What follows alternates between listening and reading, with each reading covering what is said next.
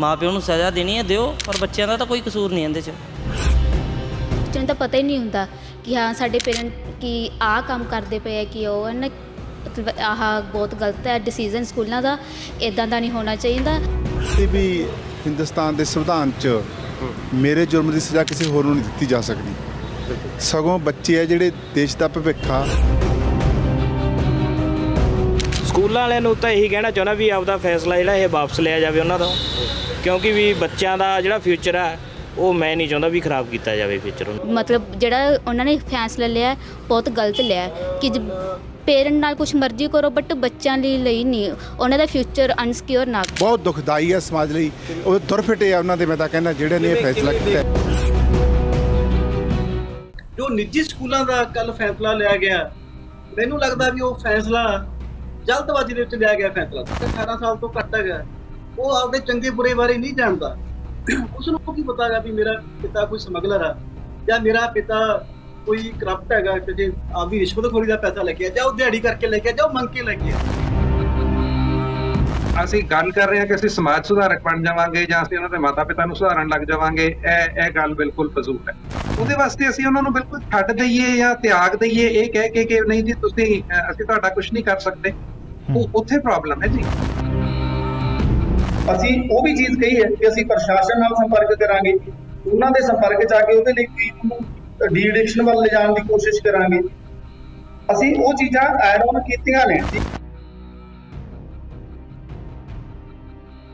ਸਤਿ ਸ਼੍ਰੀ ਅਕਾਲ, ਤੁਹਾਡਾ ਸਵਾਗਤ ਹੈ।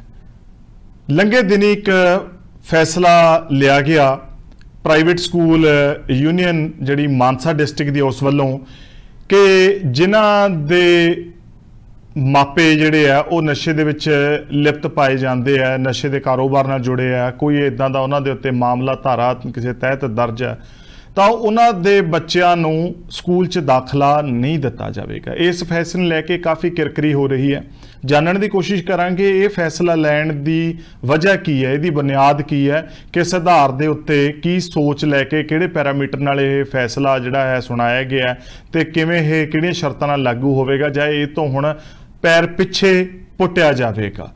ਔਰ ਇਸ ਵਿਸ਼ੇ ਤੇ ਗੱਲਬਾਤ ਕਰਨ ਲਈ ਸਾਡੇ ਨਾਲ ਜੁੜੇ ਹੋਏ ਮਹਿਮਾਨਾਂ ਦਾ ਰਸਮੀ ਤਾਰਫ ਕਰਵਾਉਂਦਾ ਹੋਇਆ ਇਸ ਪ੍ਰੋਗਰਾਮ 'ਚ ਉਹਨਾਂ ਦਾ ਇਸਤਕਬਾਲ ਕਰਾਂਗੇ ਤੇ ਉਹਨਾਂ ਨਾਲ ਗੱਲਬਾਤ ਕਰਾਂਗੇ।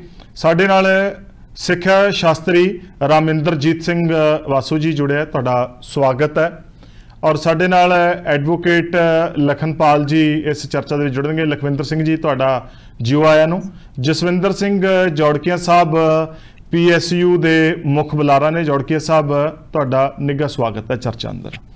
ਸਭ ਤੋਂ ਪਹਿਲਾਂ ਮੈਂ ਤੁਹਾਡੇ ਤੋਂ ਜਾਣਨਾ ਤੇ ਪੁੱਛਣਾ, ਸਮਝਣਾ ਜ਼ਰੂਰੀ ਸਮਝਦਾ ਕਿ ਇਹ ਫੈਸਲਾ ਕਿਉਂ ਲਿਆ ਗਿਆ? ਕਿਉਂਕਿ ਬਹੁਤ ਸਾਰੇ ਲੋਕ ਮੈਜੋਰਿਟੀ ਕਮਾਂ ਤਾਂ ਇਸ ਦੇ ਵਿਰੋਧ ਦੇ ਵਿੱਚ ਨਿਤਰੀ ਹੈ ਕਿ ਜਿਹੜੀ ਪੁੱਤ ਨੂੰ ਸਜ਼ਾ ਕਿਉਂ ਦਿੱਤੀ ਜਾ ਰਹੀ ਹੈ ਪਿਓ ਦੀ?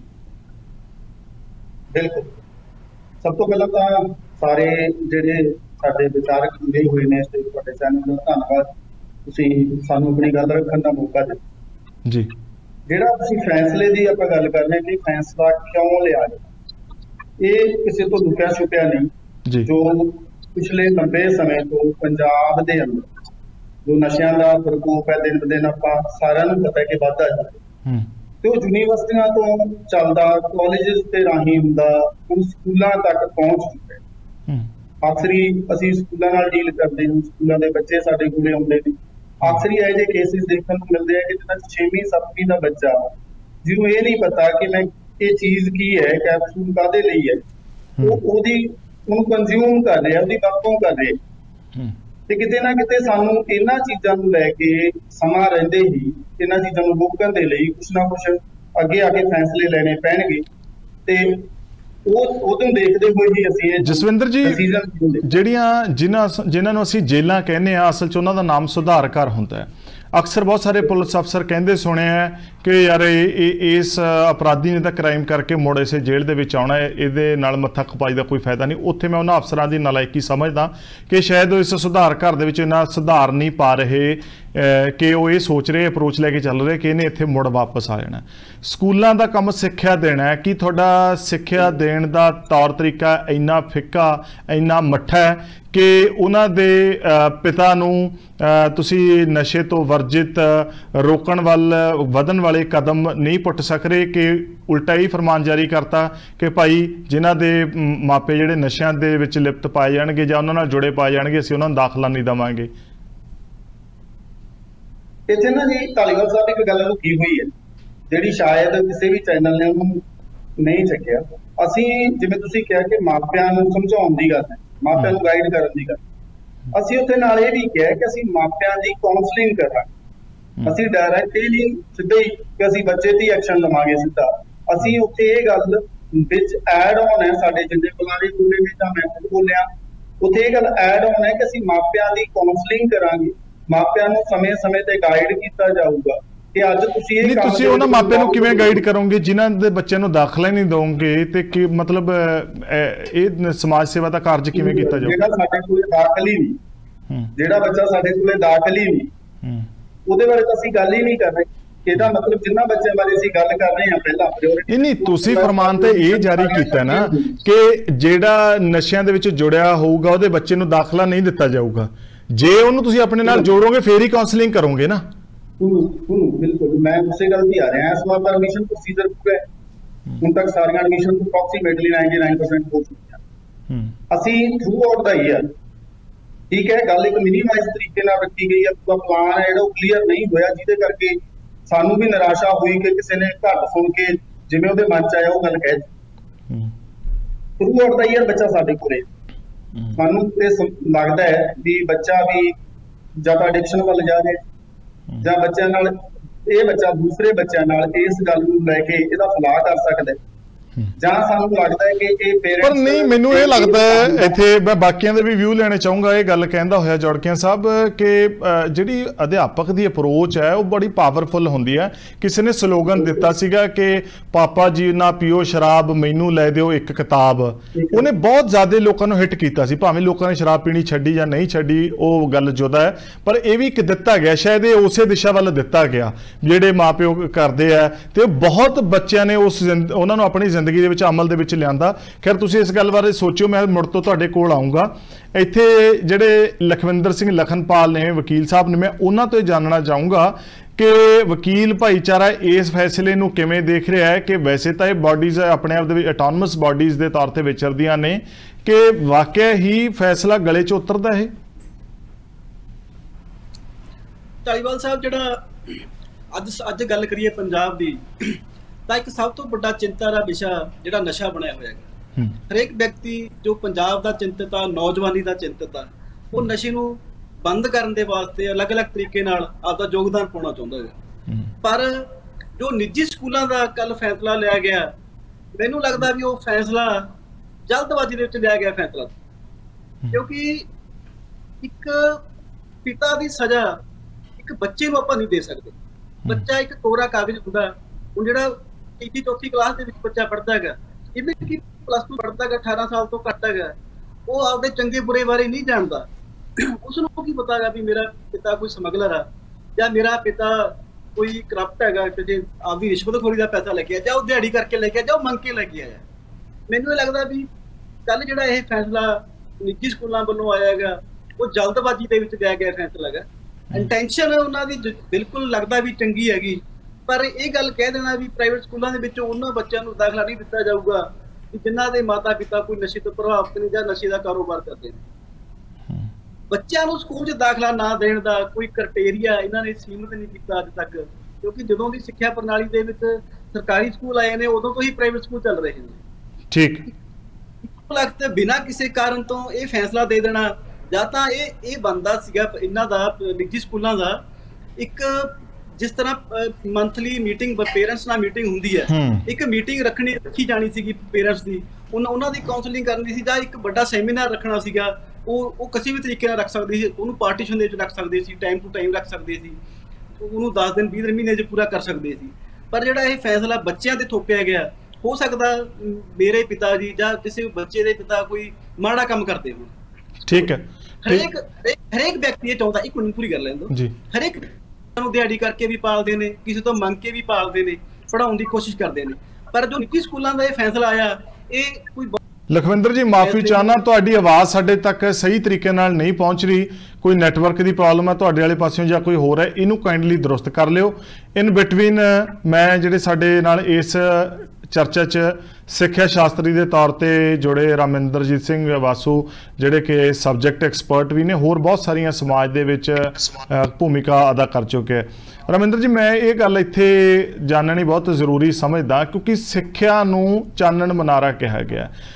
ਅੰਧਕਾਰ ਚੋਂ ਹਨੇਰੇ ਚੋਂ ਕੱਢਣ ਦਾ ਸਭ ਤੋਂ ਵੱਡਾ ਸਰੋਤ ਹੈ। ਔਰ ਕੀ ਅਸੀਂ ਉਹ ਅਪਰੋਚ ਨਹੀਂ ਅਪਣਾ ਸਕਦੇ ਕਿ ਅਸੀਂ ਉਹਨਾਂ ਦੇ ਮਾਪਿਆਂ ਨੂੰ ਉਹਨਾਂ ਤੋਂ ਇਹਨਾਂ ਬੁਰੀਆਂ ਬਲਾਵਾਂ ਤੋਂ ਦੂਰ ਕਰ ਸਕੀਏ? ਤੇ ਇਹ ਫੈਸਲਾ ਦੇ ਕੇ ਇੰਜ ਨਹੀਂ ਜਾਪ ਰਿਹਾ ਕਿ ਅਸੀਂ ਉਹਨਾਂ ਨੂੰ ਵੀ ਉਸੇ ਰਾਹ ਤੇ ਜੋੜਿਆ, ਭਾਈ ਜਾ ਵੀ ਤੇਰਾ ਪਿਓ ਤਾਂ ਇਹੋ ਜਿਹੇ ਕੰਮ ਕਰਦਾ, ਤੂੰ ਵੀ ਉਧਰ ਹੀ ਜਾ, ਕਿਉਂਕਿ ਅਸੀਂ ਤੈਨੂੰ ਦਾਖਲਾ ਤਾਂ ਦੇਣਾ ਨਹੀਂ, ਚਾਹੇ ਖਾ ਤੇ ਚਾਹੇ ਵੇਚ। ਨਵਜੋਤ ਜੀ ਪਹਿਲਾਂ ਤਾਂ ਚੈਨਲ ਦੇ ਸਾਰੇ ਦਰਸ਼ਕਾਂ ਨੂੰ ਤੇ ਸਾਡੇ ਮੇਰੇ ਸਾਥੀਆਂ ਨੂੰ ਸਤਿ ਸ੍ਰੀ ਅਕਾਲ। ਤੁਹਾਡੀ ਗੱਲ ਜਿਹੜੀ ਇਹ ਹੈ ਆਪਾਂ ਇਹਨਾਂ ਨੂੰ ਨਾ ਜੀ ਦੋ ਤਿੰਨ ਪਾਸਿਓਂ ਦੇਖ ਸਕਦੇ ਹਾਂ। ਇੱਕ ਤਾਂ ਸਿੱਖਿਆ ਵਾਲੇ ਪਾਸਿਓਂ ਔਰ ਇੱਕ ਅਸੀਂ ਸਮਾਜ ਸੇਵਾ ਵਾਲੇ ਪਾਸਿਓਂ ਔਰ ਇੱਕ ਅਸੀਂ ਇਹਨੂੰ ਮੀਡੀਆ ਵਾਲੇ ਪਾਸਿਓਂ ਦੇਖ ਸਕਦੇ ਠੀਕ। ਮੇਰਾ ਕਹਿਣ ਦਾ ਮਤਲਬ ਇਹ ਹੈ ਕਿ ਜੇ ਅਸੀਂ ਇਹਨੂੰ ਸਿੱਖਿਆ ਵਾਲੇ ਪਾਸਿਓਂ ਦੇਖੀਏ ਤੇ ਮੈਨੂੰ ਇਹ ਲੱਗਦਾ ਹੈ ਕਿ ਇਹ ਜਿਹੜਾ ਫੈਸਲਾ ਹੈ ਇਹ ਫੈਸਲਾ ਪਿਓਰਲੀ ਆਪਣੀ ਜਿਹੜੀ ਸੋਸ਼ਲ ਰਿਸਪੌਂਸਿਬਿਲਿਟੀ ਹੈ, ਅਸੀਂ ਵਿਦਿਆਰਥੀਆਂ ਨੂੰ ਸਿੱਖਿਆ ਦੇਣੀ ਹੈ। ਉਹਦੇ ਵਿੱਚ ਅਸੀਂ ਬਿਲਕੁਲ ਇਹ ਜਿਹੜੇ ਵਿਦਿਆਰਥੀਆਂ ਨੂੰ ਸਗੋਂ ਜਿਸ ਖਾਸ ਕਿਸਮ ਦੀ ਸਿੱਖਿਆ ਦੀ ਲੋੜ ਹੈ, ਉਹਨਾਂ ਬੱਚਿਆਂ ਨੂੰ ਲੋੜ ਹੈ, ਉਹਨਾਂ ਨੂੰ ਵਿਦਿਆਰਥੀ ਬਣਾ ਕੇ, ਸਕੂਲ ਵਿੱਚ ਲਿਆ ਕੇ ਅਸੀਂ ਉਹਨਾਂ ਨੂੰ ਉਹ ਸਿੱਖਿਆ ਦੇ ਸਕਦੇ ਹਾਂ ਜਿਹੜੀ ਜਿਹੜੀ ਜਿਹੜੀ ਤੋਂ ਸ਼ਾਇਦ ਉਹਨਾਂ ਦੇ ਮਾਤਾ-ਪਿਤਾ ਜਾਂ ਕੋਈ ਹੋਰ ਵਾਂਝੇ ਰਹਿ ਗਏ ਜਿਹਦੇ ਕਰਕੇ ਅਸੀਂ ਇਹੋ ਜਿਹਾ ਫੈਸਲਾ ਲੈ- ਲੈ ਰਹੇ ਹਾਂ। ਇੱਕ ਤਾਂ ਉਸ ਪੱਧਰ ਤੇ ਹੈ ਤੇ ਇਹ ਸੋਸ਼ਲ ਰਿਸਪੌਂਸਿਬਿਲਿਟੀ ਤੋਂ ਮੁਨਕਰ ਹੋਣ ਵਾਲੀ ਗੱਲ ਹੈ। ਸਮਾਜ ਸੇਵਾ ਵਾਲੀ ਜਦੋਂ ਤੱਕ ਗੱਲ ਹੈ ਉਦੋਂ ਤੱਕ ਇਹ ਹੈ ਕਿ ਅਸੀਂ ਉਹਨਾਂ ਦੇ ਮਾਤਾ-ਪਿਤਾ ਨੂੰ ਕੋਈ ਸਲਾਹ ਦੇਵਾਂਗੇ ਜਾਂ ਉਹਨਾਂ ਨੂੰ ਦਰੁਸਤ ਕਰਨ ਦੀ ਕੋਸ਼ਿਸ਼ ਕਰਾਂਗੇ ਜਾਂ ਇਹ ਸਾਰਾ ਕੁਝ ਕਰਾਂਗੇ ਇਹ ਕੰਮ ਸਕੂਲਾਂ ਦਾ ਨਹੀਂ ਹੈ। ਅਸੀਂ ਜਿਹੜੀ ਸਾਡੀ ਪਹਿਲੀ ਰਿਸਪੌਂਸਿਬਿਲਿਟੀ ਹੈ ਕਿ ਅਸੀਂ ਉਹਨਾਂ ਬੱਚਿਆਂ ਨੂੰ ਉਸ ਖਲਜਣ ਵਿੱਚੋਂ ਕੱਢ ਸਕੀਏ ਜਾਂ ਉਹਨਾਂ ਨੂੰ ਇਹੋ ਜਿਹਾ ਮਾਹੌਲ ਦੇ ਸਕੀਏ ਕਿ ਜੇ ਉਹ ਘਰੇ ਜਾਂ ਕਿਸੇ ਹੋਰ ਪੱਧਰ ਤੇ ਸਮਾਜਿਕ ਪੱਧਰ ਤੇ ਇਸ ਖਲਜਣ ਵਿੱਚ ਨੇ ਤੇ ਅਸੀਂ ਉਹਨਾਂ ਨੂੰ ਸਕੂਲ ਦੇ ਜ਼ਰੀਏ ਸਿੱਖਿਆ ਦੇ ਜ਼ਰੀਏ ਪੜ੍ਹਾਈ ਦੇ ਜ਼ਰੀਏ ਉਸ ਮਾਹੌਲ ਦੇ ਜ਼ਰੀਏ ਸਟੂਡੈਂਟਸ ਦੇ ਉਸ ਸੁਸਾਇਟੀ ਦੇ ਜ਼ਰੀਏ ਟੀਚਰਸ ਅਧਿਆਪਕਾਂ ਦੀ ਸੁਸਾਇਟੀ ਦੇ ਜ਼ਰੀਏ ਅਸੀਂ ਉਹਨਾਂ ਨੂੰ ਬਿਲਕੁਲ ਚੇਂਜ ਕਰ ਸਕਦੇ ਹਾਂ ਔਰ ਉਹ ਸਾਡੀ ਜ਼ਿੰਮੇਵਾਰੀ ਹੈ ਔਰ ਉਹ ਕਰਨਾ ਹੀ ਹੈ ਇਹ ਸਾਡਾ ਹੀ ਕੰਮ ਹੈ ਸਕੂਲਾਂ। ਤੇ ਜੇ ਅਸੀਂ ਸਕੂਲ ਵਿੱਚ ਇਹ ਕੰਮ ਨਹੀਂ ਕਰ ਰਹੇ ਤਾਂ ਅਸੀਂ ਗੱਲ ਕਰ ਰਹੇ ਹਾਂ ਕਿ ਅਸੀਂ ਸਮਾਜ ਸੁਧਾਰਕ ਬਣ ਜਾਵਾਂਗੇ ਜਾਂ ਅਸੀਂ ਉਹਨਾਂ ਦੇ ਮਾਤਾ-ਪਿਤਾ ਨੂੰ ਸੁਧਾਰਨ ਲੱਗ ਜਾਵਾਂਗੇ ਇਹ ਇਹ ਗੱਲ ਬਿਲਕੁਲ ਫਜ਼ੂਲ ਹੈ। ਤੀਸਰੀ ਗੱਲ ਹੈ ਮੀਡੀਆ ਦੀ। ਜੀ। ਜਦੋਂ ਵੀ ਕੋਈ ਇੱਥੋਂ ਤੱਕ ਕਿ ਜੇ ਕੋਈ ਦੋਸ਼ੀ ਵੀ ਹੁੰਦਾ ਹੈ ਤੇ ਅਸੀਂ ਜਦੋਂ ਤੱਕ ਉਹਨੂੰ ਕੋਰਟਸ ਦੋਸ਼ੀ ਨਹੀਂ ਡਿਕਲੇਅਰ ਕਰਦੀਆਂ ਅਸੀਂ ਉਦੋਂ ਤੱਕ ਉਹਨੂੰ ਬਿਲਕੁਲ ਕਿਸੇ ਕਿਸਮ ਦੀ ਕੋਈ ਉਹਦੇ ਬਾਰੇ ਜੱਜਮੈਂਟ ਨਹੀਂ ਦੇ ਸਕਦੇ। ਹੂੰ। ਤੇ ਅਸੀਂ ਉਹਨਾਂ ਨਾਮ ਦੱਸਣ ਤੋਂ ਬੋਲਣ ਤੋਂ ਗੁਰੇਜ਼ ਕਰਦੇ ਆ ਸਮਾਜਿਕ ਤੌਰ ਤੇ ਕੁਝ ਵੀ ਕਹਿਣ ਤੋਂ ਗੁਰੇਜ਼ ਕਰਦੇ ਆ ਬੰਦਿਆਂ ਨੇ ਵੱਡੇ ਵੱਡੇ ਕ੍ਰਾਈਮਸ ਕੀਤੇ ਹੁੰਦੇ ਨੇ ਪੁਲਿਸ ਵਾਲੇ ਉਹਦੇ ਮੂੰਹ ਤੇ ਕੱਪੜਾ ਪਾ ਕੇ ਉਹਨੂੰ ਲੈ ਕੇ ਜਾਂਦੇ ਨੇ ਅਰੈਸਟ ਕਰਕੇ। ਤੇ ਸੋ ਦੈਟ ਉਹਦੀ ਆਇਡੈਂਟੀਟੀ ਜਿਹੜੀ ਹੈ ਉਹਦਾ ਇੱਕ ਰਾਈਟ ਹੈ ਉਹਦਾ ਇੱਕ ਹੱਕ ਹੈ ਕਿ ਉਹਦੀ ਆਇਡੈਂਟੀਟੀ ਜਿਹੜੀ ਉਹ ਜਿਹੜੀ ਹੈ ਉਹ ਪਬਲਿਕ ਨਾ ਹੋਵੇ। ਅਸੀਂ ਉਹਨਾਂ ਬੱਚਿਆਂ ਨੂੰ ਪਤਾ ਨਹੀਂ ਕਿਹਦੀ ਆਇਡੈਂਟੀਟੀ ਦਾ ਦਾਗ ਲਾ ਰਹੇ ਆ ਤੇ ਅਸੀਂ ਕਹਿ ਰਹੇ ਆ ਵੀ ਉਹਨਾਂ ਨੂੰ ਦਾਖਲਾ ਹੀ ਨਹੀਂ ਦੇਣਾ। ਮਤਲਬ ਇਹ ਬਹੁਤ ਇੱਕ ਸਾਥੀ ਕਹਿ ਰਹੇ ਸਨ ਸਾਡੇ ਕਿ ਸ਼ਾਇਦ ਉਹਨਾਂ ਦੀ ਇੰਟੈਂਸ਼ਨ ਠੀਕ ਹੈ ਪਰ ਫੈਸਲਾ ਜਿਹੜਾ ਉਹ ਉਹ ਗਲਤ ਹੋ ਗਿਆ। ਮੈਨੂੰ ਨਹੀਂ ਲੱਗਦਾ ਕਿ ਇਹਦੇ ਚ ਇੰਟੈਂਸ਼ਨ ਦਾ ਵੀ ਕਿਤੇ ਕੋਈ ਥੋੜਾ ਬਹੁਤ ਠੀਕ ਹੋਣ ਦਾ ਕੋਈ ਝੋਲਾ ਪੈਂਦਾ ਹੋਵੇ। ਇਹੋ ਜਿਹੀ ਕੋਈ ਗੱਲ ਨਹੀਂ ਹੈ। ਅਸੀਂ ਵੀ ਅਸੀਂ ਅਸੀਂ ਉਹਨਾਂ ਨੂੰ ਰਿਸਪੌਂਸਿਬਲ ਨਹੀਂ ਕਹਿ ਸਕਦੇ we can't make children responsible for anything ਔਰ ਇਸ ਤਰ੍ਹਾਂ ਅਸੀਂ ਉਹਨਾਂ ਨੂੰ ਸਗੋਂ ਆਇਡੈਂਟੀਫਾਈ ਕਰ ਰਹੇ ਬੱਚਿਆਂ ਨੂੰ ਆਇਡੈਂਟੀਫਾਈ ਕਰ ਰਹੇ ਹਾਂ ਕਿ ਉਹਨਾਂ ਦੇ ਘਰ ਦੇ ਜਾਂ ਕੋਈ ਹੋਰ ਜਿਹੜਾ ਇਹੋ ਜਿਹਾ ਕੋਈ ਕਾਰੋਬਾਰ ਕਰ ਰਿਹਾ। ਇਹ ਇਹ ਇਹ ਬਿਲਕੁਲ ਹੀ ਸਗੋਂ this is in a way this is a crime on our part ਅਸੀਂ ਇਹੋ ਜਿਹਾ ਕੁਝ ਕਰਕੇ ਸ਼ਾਇਦ ਅਸੀਂ ਕ੍ਰਾਈਮ ਕਰ ਰਹੇ ਹੂੰ। ਮੈਨੂੰ ਇੰਜ ਲੱਗਦਾ ਹੈ। ਠੀਕ। ਜੋੜਕੀਆਂ ਸਾਹਿਬ ਤੁਸੀਂ ਆਪਣੇ ਕੋ ਪੈਨਲਿਸਟ ਦੇ ਵਿਚਾਰ ਸੁਣਨ ਤੋਂ ਬਾਅਦ ਆਪਣੇ ਫੈਸਲੇ ਦੇ ਉੱਤੇ ਖਰੇ ਹੋ? ਬਿਲਕੁਲ ਮੈਂ ਨਾ ਇੱਥੇ ਇੱਕ ਐਗਜ਼ਾਮਪਲ ਦੇ ਕੇ ਇੱਕ ਕੁਐਸਚਨ ਪੁੱਟ ਕਰਨਾ ਚਾਹੁੰਦਾ। ਜੀ। ਇੱਕ ਬੱਚਾ ਜਿਹਦਾ ਫਾਦਰ ਸੀਗਾ ਉਹ ਮਤਲਬ ਮੈਂ ਡਿਸਕਲੋਜ਼ ਨਹੀਂ ਸਕੂਲ ਦਾ ਨਾਮ ਕਰ ਸਕਦਾ। ਸਾਡੇ ਕੋਲ ਇਨਸੀਡੈਂਟ ਆਇਆ ਹੈ। ਕਿ ਉਹ ਨਸ਼ੇ ਦੀਆਂ ਗੋਲੀਆਂ ਜਿਵੇਂ ਪਿੰਡਾਂ 'ਚ ਨਾ ਦਿਹਾੜੀ ਦਾ ਲੋਕ ਨੇ ਸਿਗਨੇਚਰ ਦੇ ਕੈਪਸੂਲ ਜਾਂ ਹੋਰ ਇਸ ਤਰ੍ਹਾਂ ਦੀਆਂ ਹੈਗੇ ਨੇ ਉਹ ਯੂਜ਼ ਕਰਦੇ ਹੂੰ।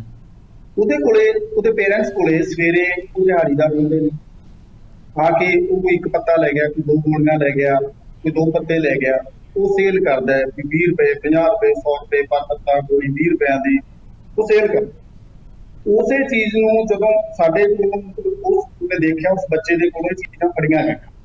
ਜਦੋਂ ਫੜੀਆਂ ਗਈਆਂ ਆਫਟਰ ਦੈਟ ਨੂੰ ਅਸੀਂ ਐਨਾਲਾਈਜ਼ ਕੀਤਾ। ਉਹ ਬੱਚੇ ਨੂੰ ਵੈਰੀਫਾਈ ਕੀਤਾ ਗਿਆ। ਵੀ ਇਹ ਕਿਉਂ ਕਰ ਰਹੇ ਉਹ ਕਹਿੰਦਾ ਜੀ ਵੀ ਸਾਡੇ ਘਰੇ ਵੀ ਵਿਕਦਾ ਹੈ। ਤੇ ਮੈਨੂੰ ਲੱਗਦਾ ਸੀ ਕਿ ਮੈਂ ਵੀ ਕਮਾਈ ਕਰਾਂ।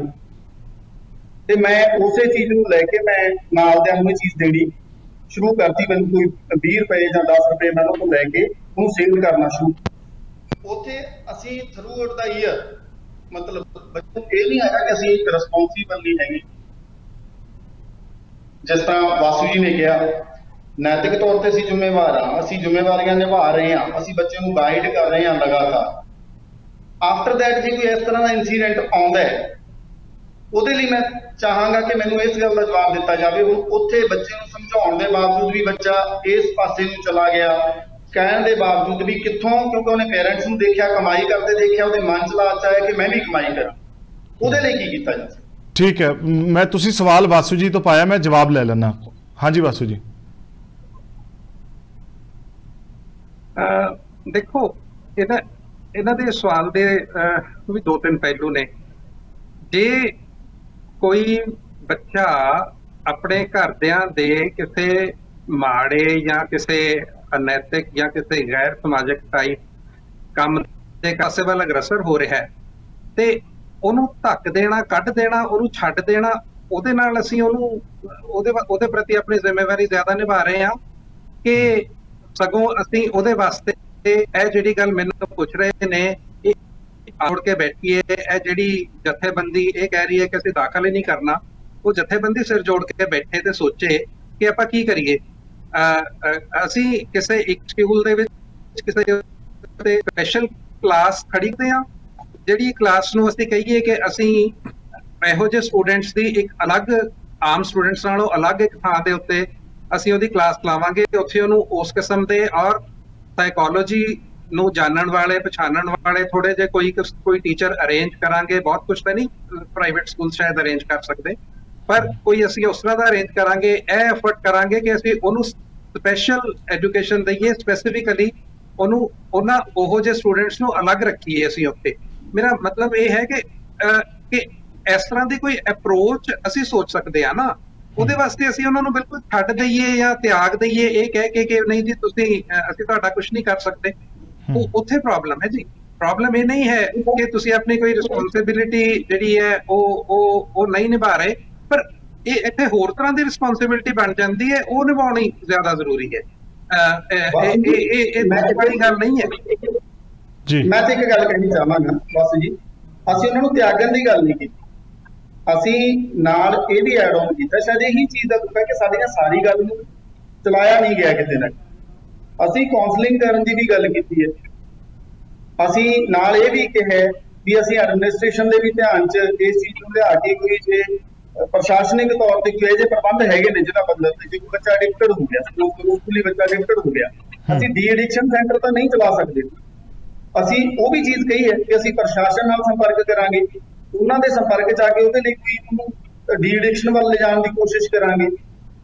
ਅਸੀਂ ਉਹ ਚੀਜ਼ਾਂ ਐਡ ਆਨ ਕੀਤੀਆਂ ਨੇ, ਠੀਕ ਹੈ ਕਿ ਮਿਨੀਮਾਈਜ਼ ਏਜੰਡੇ ਦੇ ਤਹਿਤ ਕੁਝ ਗੱਲਾਂ ਨੂੰ ਹਾਈਲਾਈਟ ਕਰ ਦਿੱਤਾ ਗਿਆ ਬਟ ਇਹਦੇ ਪਿੱਛੇ ਓਵਰਆਲ ਸੀ ਜਿਹੜਾ ਉਹ ਅਟੈਂਸ਼ਨ ਸੀ ਦੈਟ ਵਾਸ ਵੈਰੀ ਪਿਓਰ ਬਹੁਤ ਪਿਓਰ ਅਟੈਂਸ਼ਨ ਹੈ ਸਾਡੀ।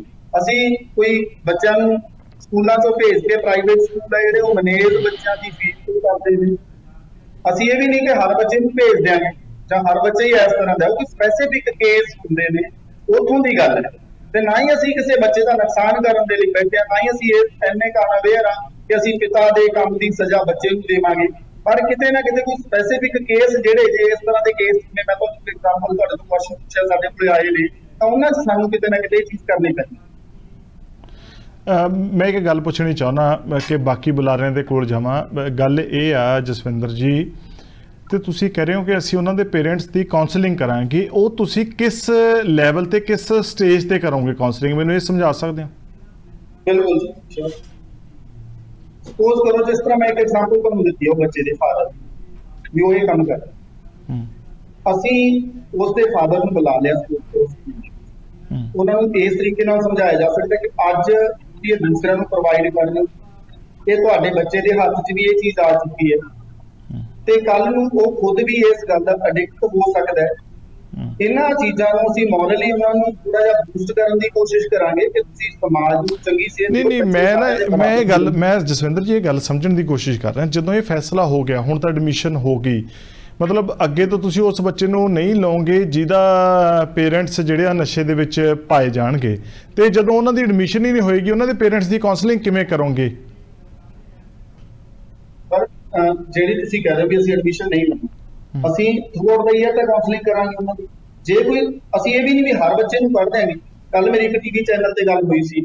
ਉਹਨਾਂ ਨੇ ਵੀ ਮੈਨੂੰ ਇਹੀ ਕੁਐਸਚਨ ਪੁੱਟ ਕੀਤਾ ਸੀ ਇਹ ਨਹੀਂ ਹੈਗਾ ਸਪੋਜ਼ ਕਰੋ ਕਿਸੇ ਦਾ ਬੱਚੇ ਦਾ ਪਿਤਾ ਉਹਨੂੰ ਮਤਲਬ ਜੇਲ੍ਹ ਭੇਜ ਦਿੱਤਾ ਗਿਆ ਸਪੋਜ਼ ਕਰੋ ਵਿੱਚ। ਅਸੀਂ ਇਹ ਤਾਂ ਨਹੀਂ ਕਹਾਂਗੇ ਵੀ ਤੇਰੇ ਪਿਤਾ ਨੂੰ ਡਰਗ ਦੇ ਰਿਗਾਰਡਿੰਗ ਮਤਲਬ ਇਹ ਕੇਸ ਦੇ ਵਿੱਚ ਜੇਲ੍ਹ ਭੇਜ ਦਿੱਤਾ ਗਿਆ ਤਾਂ ਤੈਨੂੰ ਨਹੀਂ ਕਰਾਂਗੇ। ਉਹ ਕਿਤੇ ਨਾ ਕਿਤੇ ਇੱਕ ਚੇਨ ਬ੍ਰੇਕ ਤਾਂ ਹੋਈ ਹੈ ਨਾ। ਅਸੀਂ ਇਹ ਨਹੀਂ ਕਿਹਾ ਵੀ ਬੱਚੇ ਵੀ ਦੋਸ਼ੀ ਨੇ। ਅਸੀਂ ਇਹ ਨਹੀਂ ਕਿਹਾ। ਨਹੀਂ ਨਹੀਂ ਅਸੀਂ ਤਾਂ ਇਹ ਗੱਲ ਨਹੀਂ ਕਰ ਰਹੇ ਮੈਂ ਤਾਂ ਇਹ ਪੁੱਛ ਰਿਹਾ ਵੀ ਤੁਸੀਂ ਕਹਿ ਰਹੇ ਹੋ ਨਾ ਕਿ ਅਸੀਂ ਕਾਉਂਸਲਿੰਗ ਕਰਾਂਗੇ ਕਿਸ ਸਟੇਜ ਦੇ ਉੱਤੇ ਕਾਉਂਸਲਿੰਗ ਕਰੋਗੇ ਤੇ ਨਾਲੇ ਕਾਉਂਸਲਿੰਗ ਕਿਵੇਂ ਕਰੋਗੇ ਮੈਂ ਤਾਂ ਉਸ ਗੱਲ ਦਾ ਜਵਾਬ ਲੈਣਾ ਚਾਹ ਰਿਹਾ ਵੀ ਜਦੋਂ ਤੁਸੀਂ ਇਹ ਫੈਸਲਾ ਹੀ ਜਾਰੀ ਕਰਤਾ ਕਿ ਜਿਹੜਾ ਜਿਸ ਕਿਸੇ ਦੇ ਮਾਪੇ ਜਿਹੜੇ ਨਸ਼ੇ ਦੇ ਉਹਦੇ ਵਿੱਚ ਪਾਏ ਗਏ ਗਲਤਾਨ ਚਾਹੇ ਕਰਦੇ ਚਾਹੇ ਉਹ ਕਰਾਉਂਦੇ ਜਾਂ ਵੇਚਦੇ ਵੀ ਉਹਨਾਂ ਨੂੰ ਅਸੀਂ ਲਵਾਂਗੇ ਨਹੀਂ ਤੇ ਹਾਂਜੀ। ਪੇਰੈਂਟਸ ਨਸ਼ੇ ਕਰਦੇ ਅਸੀਂ ਨਹੀਂ ਕਿਹਾ। ਅੱਛਾ ਜੀ। ਇਹੀ ਚੀਜ਼ਾਂ ਦੀ ਸੀ। ਠੀਕ ਠੀਕ। ਨਹੀਂ ਠੀਕ ਹੈ ਹਰ ਵਿਚਾਰ ਦਾ ਆਦਾਨ ਪ੍ਰਦਾਨ ਹੈ। ਤੁਸੀਂ ਖੁੱਲ ਕੇ ਬੋਲ ਸਕਦੇ ਹੋ ਵੀ ਜੇ ਕਰਦਾ ਉਹਦਾ ਉਹਦੇ ਬੱਚੇ ਨੂੰ ਦਾਖਲਾ ਦਿੱਤਾ ਜਾ ਸਕਦਾ ਜਿਹੜਾ ਵੇਚਦਾ ਉਹਨੂੰ ਨਹੀਂ ਦਿੱਤਾ ਜਾਊਗਾ। ਵੇਚਦੇ ਚ ਵੀ ਅਸੀਂ ਕੀ ਗੱਲ ਕਹੀ ਹੈ ਸਰ? ਵੇਚਦੇ ਚ ਜਿਵੇਂ ਕੁਝ ਸਪੈਸੀਫਿਕ ਕੇਸ ਦੇ ਵਿੱਚ ਉਹਨਾਂ ਦੇ ਬੱਚੇ ਜਾਂ ਤਾਂ ਐਡਿਕਟਡ ਹੋ ਗਏ। ਉਹ ਹੋਰਾਂ ਨੂੰ ਕਰ ਸਕਦੇ। ਇੱਕ ਸਕੂਲ ਦੇ ਵਿੱਚ ਸਪੋਜ਼ ਕਰੋ 1000 ਬੱਚੇ ਹੈ ਤੇ ਇੱਕ ਬੱਚਾ ਇਸ ਤਰ੍ਹਾਂ ਦੀ ਮਤਲਬ ਸਪਲਾਈ ਦੇ ਵਿੱਚ ਆ ਗਿਆ। ਉਹ ਦੂਸਰਿਆਂ ਨੂੰ ਇਹਨਾਂ ਦੀ ਹੈਬਿਚੁਅਲ ਬਣਾਉਣ ਲੱਗ ਗਿਆ ਉਹਦੇ ਲਈ ਤਾਂ ਕਿਤੇ ਨਾ ਕਿਤੇ ਸਾਨੂੰ ਸੋਚਣਾ ਪਊਗਾ ਨਾ। ਅਸੀਂ ਤਾਂ ਉਸ ਚੀਜ਼ ਨੂੰ ਟਾਰਗੇਟ ਕਰ ਰਹੇ ਹਾਂ। ਨਾ ਕਿ ਅਸੀਂ ਇਹ ਵੀ ਜੇ ਕਿਸੇ ਨੇ ਆ ਕੇ ਕਹਤਾ ਵੀ ਉਹਨਾਂ ਦੇ ਪੇਰੈਂਟਸ ਤੇ ਵੇਚਦੇ ਨੇ ਡਰਗ ਸੇਲ ਕਰਦੇ ਨੇ ਤਾਂ ਅਸੀਂ ਉਹ ਇੱਥੇ ਪੂਰੀ ਐਕਸ਼ਨ ਲੈਣ ਦੀ ਗੱਲ ਕਹੀ ਚਲੋ ਲਖਨਪਾਲ ਜੀ ਕੁਝ ਕਹਿਣਾ ਚਾਹ ਰਹੇ ਨੇ ਹਾਂਜੀ। ਜੋੜਕਿਆਂ ਸਾਹਿਬ ਦੀ ਉਹੀ ਗੱਲ ਬਾਰ-ਬਾਰ ਮੈਨੂੰ ਜੋ ਮੈਂ ਸਟਾਰਟ ਆਪਣੀ ਸਪੀਚ ਤੋਂ ਸਟਾਰਟ ਕੀਤਾ ਸੀ। ਹਾਂਜੀ। ਧਾਲੀਵਾਲ ਸਾਹਿਬ ਗੱਲ ਇਹ ਕਹੀ ਸੀ ਵੀ ਮੈਨੂੰ ਲੱਗਦਾ ਵੀ ਜਿਹੜੇ ਮੇਰੇ ਨਿੱਜੀ ਵਿਚਾਰ ਨੇ ਜਿਹੜੀਆਂ ਨਿੱਜੀ ਸਕੂਲ ਨੇ ਇਹ ਆਪਣਾ ਫੈਸਲਾ ਲੈਣ ਲੱਗੇ ਥੋੜੀ ਜਲਦਬਾਜ਼ੀ ਕਰ ਗਏ। ਹੂੰ। ਕਿਉਂਕਿ ਜਿਸ ਤਰ੍ਹਾਂ ਤੁਸੀਂ ਵਾਰ-ਵਾਰ ਇੱਕ ਕੁਐਸਚਨ ਪੁੱਟ ਕਰ ਰਹੇ ਹੋ ਡਾਕਟਰ ਸਾਹਿਬ ਨੂੰ ਤੇ ਉਹ ਐਕਸਪਲੇਨ ਨਹੀਂ ਕਰ ਰਹੇ ਉਸ ਗੱਲ ਨੂੰ ਵੀ ਜੇਕਰ ਬੱਚਾ ਤੁਹਾਡੇ ਸਕੂਲ ਵਿੱਚ ਹੀ ਨਹੀਂ ਪੜਦਾ ਜੇਕਰ ਬੱਚਾ ਤੁਸੀਂ ਸਕੂਲ ਤੋਂ ਕੱਢਤਾ ਤਾਂ ਫਿਰ ਉਹਦੇ ਉਹਨਾਂ ਦੇ ਪੇਰੈਂਟਸ ਦੀ ਤੁਸੀਂ ਮੀਡੀਏਸ਼ਨ ਕਿਸ ਤਰ੍ਹਾਂ ਕਰੋਗੇ? ਕਿਸ ਤਰ੍ਹਾਂ ਸੈਟੀਸਫਾਈ ਕਰਾਓਗੇ? ਕਿਸ ਤਰ੍ਹਾਂ ਉਹਨੂੰ ਸੁਧਾਰ ਕਰੋਗੇ? ਇਹ ਗੱਲ ਬੜੀ ਵਜਨਦਾਰ ਗੱਲ ਹੈਗੀ। ਤੇ ਇਹ ਗੱਲ ਤੋਂ ਇਹ ਰਿਪਲਾਈ ਦੇਣ ਤੋਂ ਬਾਰ-ਬਾਰ ਡਾਕਟਰ ਸਾਹਿਬ ਇਹ ਭੱਜ ਰਹੇ ਨੇ। ਤੇ ਇਹ ਗੱਲ ਤੇ ਨਾ ਐਕਸੈਪਟ ਕਰਨੀ ਪੈਣੀ ਆ ਵੀ ਇਹ ਫੈਸਲਾ ਲੈਣ ਲੱਗੇ ਥੋੜੀ ਜਲਦਬਾਜ਼ੀ ਕਰਕੇ, ਇਸ ਨੂੰ ਜੇ ਪਿੰਡਾਂ ਦੇ ਵਿੱਚ ਜਾ ਕੇ ਜਾਂ ਪੇਰੈਂਟਸ ਨਾਲ ਮੀਟਿੰਗਸ ਕਰਕੇ, ਇਸ ਠੀਕ ਆ, ਮੈਂ ਪਹਿਲਾਂ ਕਿਹਾ ਸੀਗਾ ਵੀ ਹਰੇਕ ਵਿਅਕਤੀ ਜੋ ਪੰਜਾਬ ਦਾ ਚਿੰਤਤ ਆ, ਪੰਜਾਬੀਅਤ ਨੂੰ ਪਿਆਰ ਕਰਦਾ, ਨੌਜਵਾਨਾਂ ਦਾ ਸਿੱਖ ਦੇਖਣਾ ਚਾਹੁੰਦਾ ਵੀ ਨਸ਼ੇਖੋਰੀ ਨੂੰ ਖਤਮ ਕਰਨਾ ਚਾਹੁੰਦਾ ਹੈਗਾ। ਉਹ ਚਾਹੁੰਦਾ ਵੀ ਕਿਸ ਤਰ੍ਹਾਂ ਪੰਜਾਬ ਦੇ ਵਿੱਚੋਂ ਨਸ਼ਿਆਂ ਨੂੰ ਖਤਮ ਕੀਤਾ ਜਾਵੇ, ਕਿਸ ਤਰ੍ਹਾਂ ਇਸ ਮਾੜੀ ਕੌੜੇ ਸੱਤ ਨੂੰ ਖਤਮ ਕੀਤਾ ਜਾਵੇ। ਉਹੀ ਗੱਲ ਤੇ ਇਹਨਾਂ ਨੇ ਪਹਿਲ ਜ਼ਰੂਰ ਕੀਤੀ ਹੈ। ਪਰ ਇਹ ਲੱਗਦਾ ਵੀ ਇਹਨਾਂ ਦਾ ਕੋਈ ਨਿੱਜੀ ਫੈਸਲਾ ਜਿਹੜਾ ਇਹ ਕੋਈ ਬਹੁਤਾ ਵਧੀਆ ਫੈਸਲਾ ਨਹੀਂ ਹੈਗਾ। ਇੱਕ ਕੋਰੇ ਕਾਗਜ਼ ਦੇ ਉੱਤੇ ਥੋਪਣ ਵਾਲਾ ਫੈਸਲਾ ਹੈਗਾ। ਹੁਣ ਜਿਹੜਾ ਬੱਚਾ 18 ਸਾਲ ਤੋਂ ਘੱਟ ਆ, ਜਿਹਨੂੰ ਆਪਦੇ ਜਿਹਨੂੰ ਆਪਦੇ ਚੰਗੇ ਮਾੜੇ ਦਾ ਨਹੀਂ ਪਤਾ, ਉਹਨੂੰ ਆਪਦੇ ਪਿਤਾ ਜਾਂ ਆਪਦੀ ਮਾਤਾ ਦਾ ਕਾਰੋਬਾਰ ਬਾਰੇ ਕੀ ਪਤਾ ਹੋਊਗਾ।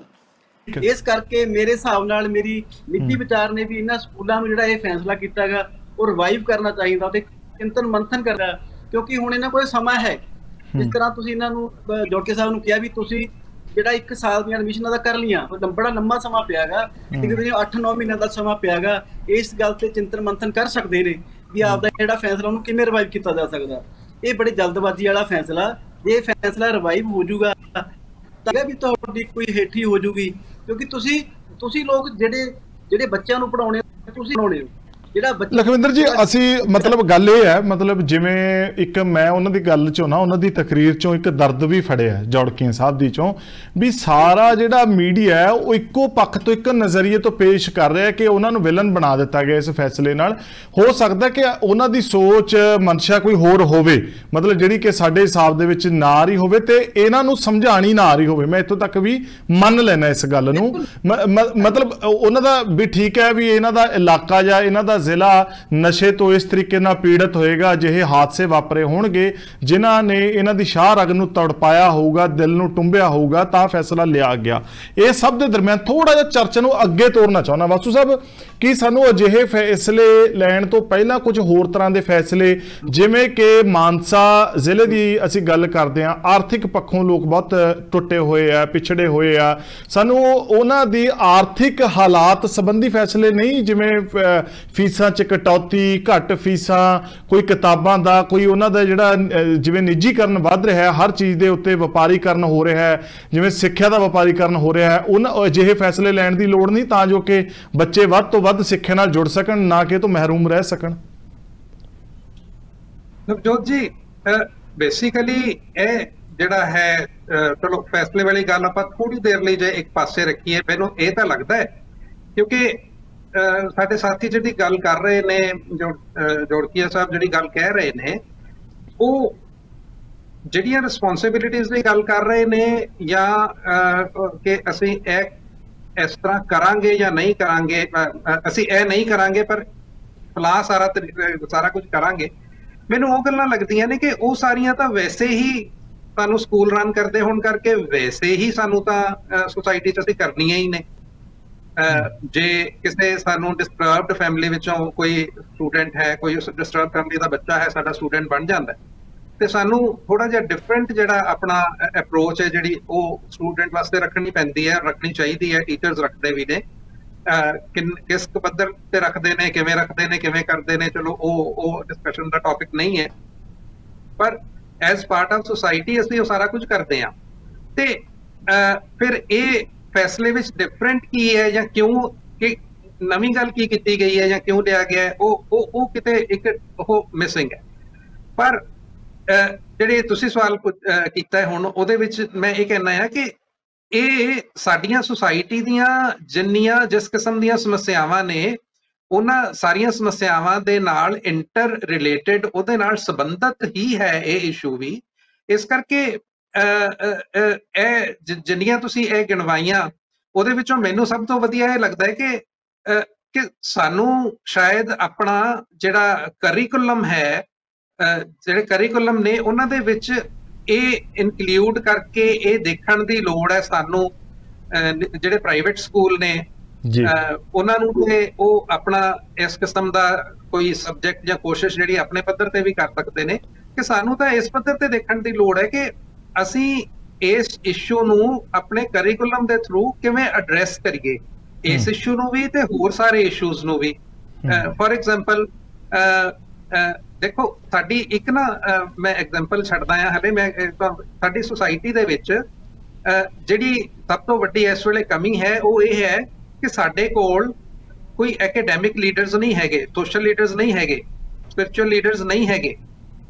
ਸਾਡੇ ਕੋਲ ਸੁਸਾਇਟੀ ਦੇ ਵਿੱਚ ਸਿਰਫ ਪੋਲਿਟੀਕਲ ਲੀਡਰਸ ਨੇ ਅਸੀਂ। ਹਰ ਮਾਮਲੇ ਨੂੰ ਆਲਮੋਸਟ ਪੋਲਿਟੀਕਲ ਐਂਗਲ ਤੋਂ ਹੀ ਦੇਖਣ ਦੀ ਕੋਸ਼ਿਸ਼ ਕਰਦੇ ਹਾਂ ਤੇ ਉੱਥੋਂ ਹੀ ਦੇਖ ਰਹੇ ਹੁੰਦੇ ਆ ਹਮ। ਤੇ ਸਾਡੇ ਫੈਸਲਿਆਂ ਦੇ ਵਿੱਚ ਉਹਦੀ ਜਿਹੜੀ ਜੇ ਅਸੀਂ ਅਕੈਡਮਿਕ ਪੱਧਰ ਦੇ ਉੱਤੇ ਕੋਈ ਫੈਸਲਾ ਲੈਣਾ ਹੈ ਤੇ ਜੇ ਉਹਦੇ ਵਿੱਚੋਂ ਸਾਨੂੰ ਪੋਲਿਟੀਕਲ ਮੈਲ ਆਏਗੀ ਤਾਂ ਉਹ ਬਦਬੂ ਹੋਏਗੀ ਸਾਨੂੰ ਅਸੀਂ ਸੋਸ਼ਲ ਪੱਧਰ ਤੇ ਕੋਈ ਫੈਸਲਾ ਲੈਣਾ ਹੈ ਪਰ ਉਹਦੇ ਵਿੱਚੋਂ ਜੇ ਪੋਲਿਟੀਕਲ ਕੋਈ ਸਮੈਲ ਆਏਗੀ ਤਾਂ ਉਹ ਬਦਬੂ ਹੋਏਗੀ ਖੁਸ਼ਬੂ ਨਹੀਂ ਹੋਏਗੀ ਮੈਂ, ਮੇਰਾ ਕਹਿਣ ਦਾ ਮਤਲਬ ਇਹ ਹੈ ਕਿ ਅਸੀਂ ਇਹਨਾਂ ਇਹਨਾਂ ਪੱਖਾਂ ਨੂੰ ਇਹੋ ਜਿਹੇ ਫੈਸਲਿਆਂ ਨਾਲ ਐਕੈਡੈਮਿਕ ਪੱਧਰ ਤੇ ਇਹ ਹੱਲ ਕਰਨ ਵਾਲਾ ਵਾਲਾ ਇਸ਼ੂ ਹੋ ਸਕਦਾ ਹੈ ਇਹ ਸੋਸ਼ਲ ਪੱਧਰ ਤੇ ਹੱਲ ਕਰਨ ਵਾਲਾ ਇਸ਼ੂ ਹੋ ਸਕਦਾ ਹੈ। ਇਹ ਇਹੋ ਜਿਹੇ ਪੱਧਰ ਤੇ ਹੱਲ ਕਰਨ ਵਾਲਾ ਇਸ਼ੂ ਬਿਲਕੁਲ ਨਹੀਂ ਹੈ ਕਿ ਅਸੀਂ ਉਹ, ਇਹ ਕਹੀਏ ਕਿ ਅਸੀਂ ਲਾਅ ਐਂਡ ਆਰਡਰ ਦੀ ਪ੍ਰੋਬਲਮ ਵਾਂਗ ਅਸੀਂ ਇਹਨਾਂ ਨੂੰ ਸਮਾਜ ਚੋਂ ਕੱਢ ਕੇ ਇੱਕ ਪਾਸੇ ਰੱਖ ਦਿਆਂਗੇ, ਇਹ ਕਰ ਦਿਆਂਗੇ, ਇਹ ਉਹ ਕਹਿ ਵੀ ਨਹੀਂ ਰਹੇ ਵੈਸੇ, ਪਰ ਇਹਦਾ ਸਿੱਟਾ ਇਹੀ ਨਿਕਲੇਗਾ ਜਿਸ ਕਿਸਮ ਦਾ ਇਹ ਫੈਸਲਾ ਕਿਉਂਕਿ ਇਹ ਇਹ ਇਸ ਫੈਸਲੇ ਦੇ ਵਿੱਚ ਬਹੁਤ ਜ਼ਿਆਦਾ ਖਾਮੀਆਂ ਨੇ। ਐਡਵੋਕੇਟ ਸਾਹਿਬ ਬਿਲਕੁਲ ਠੀਕ ਗੱਲ ਕਹਿ ਰਹੇ ਨੇ ਕਿ ਕਾਲੀ ਚ ਲਿਆ ਹੋਇਆ ਫੈਸਲਾ। ਯੈਸ ਬਿਲਕੁਲ ਕਾਲੀ ਚ ਲਿਆ ਹੋਇਆ ਫੈਸਲਾ ਅਸੀਂ ਇਹਨਾਂ ਦੇ ਬਾਕੀ ਪੱਖ ਦੇਖਣੇ ਰਹਿ ਗਏ ਨੇ ਜਿਹੜੇ ਸਾਡੀਆਂ ਹੋਰ ਸਮੱਸਿਆਵਾਂ ਦੇ ਨਾਲ ਰਿਲੇਟਡ ਪੱਖ ਨੇ। ਉਹ ਇੰਟਰ ਰਿਲੇਟਡ ਨੇ ਸਾਡੀਆਂ ਸਾਰੀਆਂ ਸਮਾਜਿਕ ਸਮੱਸਿਆਵਾਂ ਤੇ ਸਾਨੂੰ ਉਹ ਪੱਖ ਦੇਖਣੇ ਪੈਣਗੇ ਨਾਲ। ਇਹ ਫੈਸਲਾ ਲੈਣ ਨਾਲ ਕਿਸੇ ਪੱਖ ਦਾ ਕੋਈ ਫਾਇਦਾ ਸਿੱਧੇ ਤੌਰ ਤੇ ਕੋਈ ਨਜ਼ਰ ਨਹੀਂ ਆ ਰਿਹਾ। ਹਾਲਾਂਕਿ ਜਿਹੜੀ ਸਾਡੀ ਸੋਸ਼ਲ ਰਿਸਪੌਂਸਿਬਿਲਟੀ ਜਿਹੜੀ ਆਪੇ ਹੀ ਹੈ ਅਕੈਡਮਿਸ਼ੀਅਨ ਦੀ ਹੈ ਪ੍ਰਾਈਵੇਟ ਸਕੂਲਸ ਦੀ ਹੈ, ਬਹੁਤ ਵੱਡੇ ਪੱਧਰ ਤੇ ਉਹ ਬਹੁਤ ਡੂੰਘਾਈ ਤੱਕ ਜਾ ਕੇ ਨਿਭਾ ਵੀ ਰਹੇ ਨੇ, ਉਹ ਵਾਲੀ ਜਿਹੜੀ ਜ਼ਿੰਮੇਵਾਰੀਆਂ ਨੇ।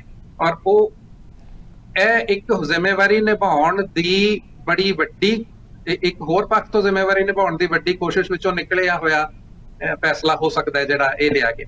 ਪਰ ਉਹੀ ਗੱਲ ਕਿ ਇਹਨੂੰ ਇਸ ਪੱਧਰ ਤੇ ਨਹੀਂ, ਇਹਨੂੰ ਐਕੈਡੈਮਿਕ ਪੱਧਰ ਤੇ ਨਿਭਾਇਆ ਜਾਣਾ ਚਾਹੀਦਾ ਹੈ ਐਕੈਡੈਮਿਕ ਪੱਧਰ ਤੇ ਸੁਲਝਾਇਆ ਜਾਣਾ ਚਾਹੀਦਾ ਹੈ।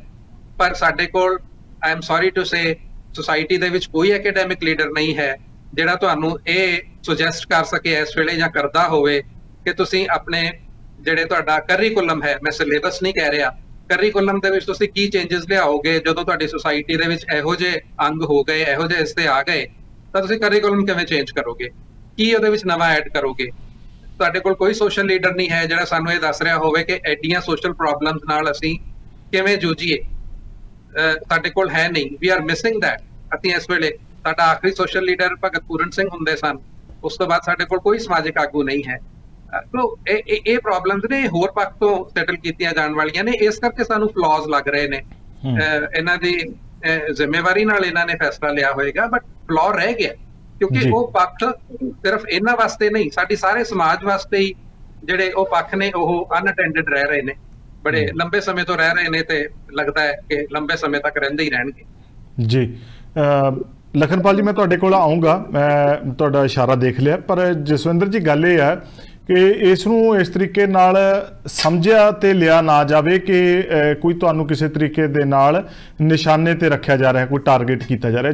ਅਸੀਂ ਸਿਰਫ ਮੁੱਦਾ ਡਿਸਕਸ ਕਰਨਾ ਚਾਹੁੰਦੇ ਹਾਂ। ਕਿਉਂਕਿ ਕਿਉਂਕਿ ਗੱਲ ਇਹ ਆ ਕਿ ਮੈਨੂੰ ਜਿਸ ਤਰੀਕੇ ਦਾ ਪੜ੍ਹਨ ਲਿਖਣ ਦੇ ਦੌਰਾਨ ਮਾਹੌਲ ਮਿਲਿਆ, ਮੈਨੂੰ ਇਦਾਂ ਦੇ ਅਧਿਆਪਕ ਮਿਲੇ, ਮੇਰੀ ਖੁਸ਼ਕਿਸਮਤੀ ਰਹੀ ਕਿ ਉਹਨਾਂ ਨੇ ਵਿਸ਼ੇ ਤੋਂ ਇਲਾਵਾ ਸਮਾਜਿਕ ਜਿਹੜੇ ਵਿਸ਼ੇ ਸੀ, ਜਿਹੜੇ ਮਤਲਬ ਸਮਾਜ ਦੀਆਂ ਜਿਹੜੀਆਂ ਸਮੱਸਿਆਵਾਂ ਸੀ, ਜਿਹੜੇ ਹਾਲਾਤ ਨਾਲ ਕਿਵੇਂ ਨਜਿੱਠਣਾ ਉਹਨਾਂ ਨੇ ਉਹ ਚੀਜ਼ਾਂ ਵੀ ਪੜ੍ਹਾਈਆਂ, ਉਹਨਾਂ ਨੇ ਜ਼ਿੰ- ਜ਼ਿੰਦਗੀ ਦਾ ਪਾਠ ਵੀ ਪੜ੍ਹਾਇਆ। ਮਤਲਬ ਉਹਨਾਂ ਦੀ ਅਪਰੋਚ ਇਸ ਤਰੀਕੇ ਦੀ ਸੀ ਕਿ ਉਸ ਜਿਹੜਾ ਸਾਡਾ ਪੁਸਤਕ ਦੀ ਜਿਹੜੀ ਵਿਸ਼ਾ ਸੂਚੀ ਦੇ ਵਿੱਚ ਜਿਹੜੇ ਅਧਿਆਏ ਹੁੰਦੇ ਸੀ, ਉਸ ਤੋਂ ਇਲਾਵਾ ਜ਼ਿੰਦਗੀ ਦੇ ਅਧਿਆਏ ਵੀ ਪੜਾਉਣ ਦੀ ਕੋਸ਼ਿਸ਼ ਕੀਤੀ।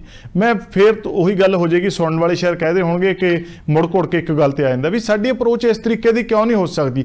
ਘਰਾਂ ਦੇ ਵਿੱਚ ਜਿਹੜੀਆਂ ਅਲਾਮਤਾਂ ਨੇ, ਜਿਹੜੀਆਂ ਬੁਰੀਆਂ ਚੀਜ਼ਾਂ ਨੇ ਕਿ ਅਸੀਂ ਸਾਡੇ ਕੋਲ ਜਿਹੜਾ ਬੱਚਾ ਪੜਨ ਆ ਗਿਆ, ਅਸੀਂ ਆਪਣੀ ਉਹ, ਉਸ ਸੁਗੜ ਸਿਆਣਤਾ ਦੇ ਨਾਲ, ਆਪਣੀ ਸਦਬੁੱਧੀ ਦੇ ਨਾਲ ਉਹ ਬੱਚਿਆਂ ਦੇ ਅੰਦਰ ਇੱਕ ਇਹੋ ਜੀ ਚੇਤਨਤਾ, ਇਹੋ ਜੀ ਜਾਗਰੂਕਤਾ ਭਰਦੀ ਹੈ ਕਿ ਠੀਕ ਹੈ ਪਹਿਲੀ ਗੱਲ ਤਾਂ ਤੁਸੀਂ ਆਪਣੇ ਮਾਪਿਆਂ ਨੂੰ ਇਹਨਾਂ ਚੀਜ਼ਾਂ ਤੋਂ ਦੂਰ ਕਰੋ। ਜੇ ਨਹੀਂ ਹੁੰਦੇ ਤਾਂ ਤੁਸੀਂ ਇੱਕ ਨਰੋਏ ਸਮਾਜ ਦੀ ਸਿਰਜਣਾ ਦੇ ਵਿੱਚ ਅਹਿਮ ਭੂਮਿਕਾ ਅਦਾ ਕਰੋ। ਬਿਲਕੁਲ। ਬਿਲਕੁਲ ਸਹੀ ਕਹਿ ਰਹੇ ਹੋ ਤੁਸੀਂ ਬਟ ਮੈਂ ਇੱਥੇ ਇੱਕ ਚੀਜ਼ ਇਹ ਐਡ ਕਰਨੀ ਚਾਹਾਂਗਾ ਜੀ। ਕੋਈ ਰਾਸਤੇ ਤੇ ਆਪਾਂ ਜਦੋਂ ਤੁਰਦੇ ਹਾਂ ਕੋਈ ਫੈਸਲਾ ਲੈਣਾ ਹੈ। ਅਸੀਂ ਸ਼ੁਰੂਆਤ ਕੀਤੀ ਹੈ ਕੋਈ ਚੰਗੇ ਸੁਜੈਸ਼ਨ ਆਉਣਗੇ ਚੰਗੇ ਸੁਝਾਅ ਆਉਣਗੇ ਤਾਂ ਉਹਨਾਂ ਨੂੰ ਵੀ ਤਾਂ ਐਡ ਆਨ ਕੀਤਾ ਜਾ ਸਕਦਾ। ਜੀ। ਮੈਂ ਨਹੀਂ ਕਹਿੰਦਾ ਕਿ ਹਰ ਬੰਦਾ ਕਿਤੇ ਨਾ ਕਿਤੇ ਵੀ 100% ਹੀ ਉਹ ਸਹੀ ਹੁੰਦਾ ਸਾਡੇ ਫੈਸਲੇ 'ਚ ਇਹ ਹੋ ਸਕਦਾ ਕਿ ਕੋਈ ਉਹਨੂੰ ਪ੍ਰੋਪਰਲੀ ਲੋਕਾਂ ਤੱਕ ਪਹੁੰਚਾਉਣ ਦੇ ਵਿੱਚ ਉਸ ਮੈਸੇਜ ਨੂੰ ਕਿਤੇ ਨਾ ਕਿਤੇ ਕੋਈ ਗੈਪ ਰਿਹਾ ਹੋਵੇ। ਤਾਂ ਅਸੀਂ ਇਸ ਗੱਲ ਤੋਂ ਵੀ ਤਾਂ ਬੰਕਰ ਨਹੀਂ ਹੋ ਰਹੇ ਕਿ ਅਸੀਂ ਇਸ ਚੀਜ਼ ਨੂੰ ਅਪਰੂਵ ਨਹੀਂ ਕਰਾਂਗੇ। ਇਹਨਾਂ ਚੀਜ਼ਾਂ ਨੂੰ ਵਾਚ ਆਊਟ ਕੀਤਾ ਜਾ ਸਕਦਾ ਅਸੀਂ ਇੱਕ ਰਸਤਾ ਲਿਆ ਅਸੀਂ ਇੱਕ ਫੈਸਲਾ ਲਿਆ ਅਸੀਂ ਚਾਹੁੰਦੇ ਹਾਂ ਕਿ ਹੋਰ ਬੁੱਧੀਜੀਵੀ, ਹੋਰ ਸਮਾਜ ਚਿੰਤਕ, ਚੰਗੇ ਸਮਾਜ ਦੀ ਸਿਰਜਣਾ ਕਰਨ ਦੇ ਲਈ ਜੋ ਭਾਵਨਾ ਰੱਖਦੇ ਨੇ ਉਹ ਇਸ ਚੀਜ਼ ਨਾਲ ਜੁੜਨ ਤੇ ਹੋਰ ਵਧੀਆ ਸੁਜੈਸ਼ਨ ਆਉਣ ਤੇ ਹੋਰ ਜ਼ਿਆਦਾ improve ਕੀਤਾ ਜਾ ਸਕੇ ਇਸ ਗੱਲ ਨੂੰ ਤੇ ਇਸ ਦੇ ਨਤੀਜਿਆਂ ਤੱਕ ਪਹੁੰਚਿਆ ਜਾ ਸਕੇ, ਇਸ ਚੀਜ਼ ਨੂੰ ਆਪਾਂ ਹੈਂਡਲ ਕਰ ਸਕੀਏ। ਜੋੜਕੇ ਸਾਹਿਬ, ਅਜਿਹੇ ਵਿਸ਼ਿਆਂ ਤੇ ਕਦੇ-ਕਦਾਰ ਗੱਲ ਕਰਨ ਦਾ ਤੇ ਵਿਚਾਰ ਰੱਖਣ ਦਾ ਮੌਕਾ ਮਿਲਦਾ। ਮੈਂ ਇੱਕ ਗੱਲ ਇਹ ਕਿ ਜੋ ਅਕਸਰ ਸਾਡੇ ਕੋਲ ਬੱਚਿਆਂ ਦੀਆਂ ਸਮੱਸਿਆਵਾਂ ਆਉਂਦੀਆਂ ਨੇ ਕਿ ਪ੍ਰਾਈਵੇਟ ਸਕੂਲਾਂ ਵਾਲੇ ਬਹੁਤ ਮਨਮਾਨੀ ਕਰਦੇ ਆ। ਫੀਸਾਂ ਸੰਬੰਧੀ ਟਾਈਮ ਟੇਬਲ ਸੰਬੰਧੀ ਡਰੈਸ ਦੇ ਸੰਬੰਧੀ ਇਸ ਤੋਂ ਇਲਾਵਾ ਜਿਹੜੀ ਕਿ ਬੋਲਣ ਦੀ ਜਿਹੜੀ ਉਹਨਾਂ ਦੀ ਆਜ਼ਾਦੀ ਹੈ ਕਿ ਉਹਨਾਂ ਨੇ ਕਿਸ ਭਾਸ਼ਾ ਦੇ ਵਿੱਚ ਗੱਲ ਕਰਨੀ ਹੈ। ਮਿਸਾਲ ਦੇ ਤੌਰ ਤੇ ਪੰਜਾਬੀ ਦੇ ਵਿੱਚ ਬੋਲਣ ਦੇ ਲਈ ਫੀਸ ਜੁਰਮਾਨੇ ਵੀ ਜਿਹੜੇ ਆ ਉਹਨਾਂ ਦੇ ਉੱਤੇ ਲਾ ਦਿੱਤੇ ਜਾਂਦੇ ਆ। ਕੀ ਪ੍ਰਾਈਵੇਟ ਸਕੂਲ ਐਸੋਸੀਏਸ਼ਨਸ ਨੂੰ ਯੂਨੀਅਨਸ ਨੂੰ ਇਸ ਵੱਲ ਵੀ ਕੋਈ ਸਖਤ ਅਜਿਹੇ ਕਦਮ ਪੁੱਟਣ ਦੀ ਜ਼ਰੂਰਤ ਨਹੀਂ ਸਮਝਦੇ? ਬਿਲਕੁਲ ਹੈਗੀ ਦੂਜੀ ਗੱਲ ਮੈਨੂੰ ਮੈਂ ਇਹ ਚਾਹਾਂਗਾ ਕਿ ਪੰਜੇ ਉਂਗਲਾਂ ਕਦੇ ਬਰਾਬਰ ਨਹੀਂ ਹੁੰਦੀਆਂ ਭਾਈ। ਹੂੰ। ਹੁੰਦੇ ਆ ਕੁਝ ਜਿਹੜੇ ਸਾਡੇ ਤੋਂ ਵੀ ਬਾਹਰ ਹੋਣਗੇ ਦੁਨੀਆ ਦੇ ਵਿੱਚ 100% ਤਾਂ ਕੋਈ ਸਾਡੇ ਨਾਲ ਵੀ ਨਹੀਂ ਕਿਤੇ ਨਾ ਕਿਤੇ ਕੋਆਪਰੇਟ ਕਰ ਰਿਹਾ ਹੋਣਾ। ਕੋਈ 5-10% ਇੱਧਰ ਉੱਧਰ ਹੁੰਦੇ ਆ। ਤੇ ਉਹ ਸਰਕਾਰ ਦੇ ਹੁਕਮਾਂ ਤੋਂ ਵੀ ਬਾਹਰ ਹੁੰਦੇ ਨੇ। ਉਹ ਦੁਨੀਆ ਦੇ ਹੁਕਮਾਂ ਤੋਂ ਵੀ ਬਾਹਰ ਹੁੰਦੇ ਨੇ। ਉਹ ਕਿਤੇ ਸਮਾਜਿਕ ਆਰਡਰ ਤੋਂ ਵੀ ਬਾਹਰ ਆਪਣੇ ਆਪ ਨੂੰ ਖੜਾਉਂਦੇ। ਹਾਂ। ਇਹ ਚੀਜ਼ ਨੂੰ ਜ਼ਰੂਰ ਵਿਚਾਰਿਆ ਜਾਣਾ ਚਾਹੀਦਾ। ਜਿਵੇਂ ਮੈਂ ਵਿਸ਼ੇਸ਼ ਤੌਰ ਤੇ ਗੱਲ ਕਰਾਂ ਜੋ ਸਾਡਾ ਮਾਨਸਾ ਡਿਸਟ੍ਰਿਕਟ ਦੀ ਗੱਲ ਕਰਾਂ ਇਹ ਵੱਡਾ ਸ਼ਹਿਰ ਨਹੀਂ ਹੈ। ਹੂੰ। ਨਾ ਹੀ ਕੋਈ ਬਹੁਤ ਡਿਵੈਲਪਡ ਏਰੀਆ ਹੈ। ਨਾ ਹੀ ਕੋਈ ਲੋਕਾਂ ਦੀ ਇੱਥੇ ਆਰਥਿਕਤਾ ਬਹੁਤ ਅੱਛੀ ਹੈ। ਜਿੰਨੇ ਪਿੰਡੂ ਏਰੀਏ ਦੇ ਸਕੂਲ ਨੇ ਮੈਨੂੰ ਨਹੀਂ ਲੱਗਦਾ ਕਿਸੇ ਸਕੂਲ ਦੀ 12 1500 ਰੁਪਇਆ ਦੇ ਤੋਂ ਵੱਧ ਫੀਸ ਹੋ। ਤੁਸੀਂ ਇਸ ਗੱਲ ਨੂੰ ਲਿਆ ਕੇ ਗਰਾਊਂਡ ਲੈਵਲ ਤੇ ਚੈੱਕ ਨਹੀਂ ਕਰ ਸਕਦੇ। ਠੀਕ ਹੈ ਵੀ ਆਟੇ ਨਾਲ ਪੜੇਥਣ ਲੱਗ ਜਾਂਦਾ। ਕਈ। ਇਸ ਤਰ੍ਹਾਂ ਦੇ ਹੈਗੇ ਨੇ ਸਾਡੇ 'ਚ ਵੀ ਜਿਹੜੇ ਇਹ ਜਿਹੇ ਕੰਮ ਕਰਦੇ ਨੇ ਫੀਸਾਂ ਨੂੰ ਲੈ ਕੇ ਕਰਦੇ ਨੇ ਬੁੱਕਸ ਨੂੰ ਲੈ ਕੇ ਕਰਦੇ ਨੇ ਯੂਨੀਫਾਰਮਸ ਨੂੰ ਲੈ ਕੇ ਕਰਦੇ ਨੇ। ਹੈਗੇ ਨੇ ਪਰ ਸਾਰੇ ਇੱਕੋ ਜਿਹੇ ਨਹੀਂ ਠੀਕ ਹੈ। ਚੀਜ਼ਾਂ ਨੂੰ ਵਿਚਾਰਨ ਦੀ ਲੋੜ ਹੈ। ਅਸੀਂ ਇਸ ਗੱਲ ਨਾਲ ਖੁਦ ਸਹਿਮਤ ਹਾਂ ਕਿ ਸਕੂਲਾਂ ਨੂੰ ਆਪਣਾ ਰੈਪੂਟੇਸ਼ਨ ਬਣਾਉਣਾ ਚਾਹੀਦਾ ਹੈ ਨਾ ਕਿ ਛੋਟੀਆਂ ਛੋਟੀਆਂ ਗੱਲਾਂ ਤੇ ਇਹਨਾਂ ਮਸਲਿਆਂ 'ਚ ਉਲਝ ਕੇ ਕਿ ਅਸੀਂ ਕਿਤਾਬਾਂ ਆਪ ਵੇਚਾਂਗੇ ਜਾਂ ਯੂਨੀਫਾਰਮ ਦਾ ਅਸੀਂ ਕੰਮ ਕਰਾਂਗੇ ਜਾਂ ਫੀਸਾਂ ਨੂੰ ਲੈ ਕੇ ਪੇਰੈਂਟਸ ਦੀ ਹਾਲਾਤ ਵੀ ਸਾਨੂੰ ਕਿਤੇ ਨਾ ਕਿਤੇ ਸਮਝਣੇ ਚਾਹੀਦੇ ਜੋ ਬਹੁਤੇ ਸਕੂਲ ਸਾਡੇ ਚੋਂ ਮੈਂ ਵਿਅਕਤੀਗਤ ਤੌਰ ਤੇ ਮੰਨਦਾ ਕਿ ਸਮਝ ਰਹੇ ਹਾਂ ਠੀਕ ਹੈ। ਲਖਨਪਾਲ ਜੀ ਕੁਝ ਕਹਿਣਾ ਚਾਹ ਰਹੇ ਸੀ? ਹਾਂਜੀ। ਧਾਲੀਵਾਲ ਸਾਹਿਬ ਇੱਥੇ ਨਾ ਦੋ ਮੇਰੇ ਦੋ ਵਿਚਾਰ ਨੇ। ਪਹਿਲੀ ਗੱਲ ਤਾਂ। ਜਦੋਂ ਜਦੋਂ ਨਿੱਜੀ ਸਕੂਲ ਜਿਹੜੇ ਪ੍ਰਾਈਵੇਟ ਸਕੂਲ ਜਦੋਂ ਆਪਣੀ ਸੋਸਾਇਟੀ ਦੇ ਵਿੱਚ ਸਟੇਬਲ ਹੁੰਦੇ ਨੇ ਉਹਨਾਂ ਦਾ ਕੀ ਕਾਰਨ ਸੀਗਾ?